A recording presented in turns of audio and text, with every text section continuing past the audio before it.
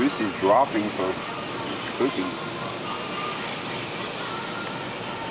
Video for posterity. This is our test run before cooking the hog. We're cooking a turkey. Having there it's you can see it turning. John's proud new baby. There's the whatchamacallit that turns it.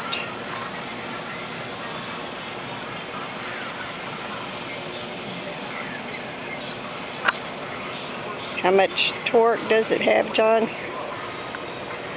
I don't have any idea. 1200.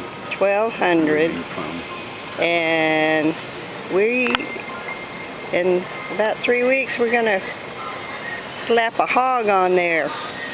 About a 40 pounder have a birthday party for my mom. Inventor John.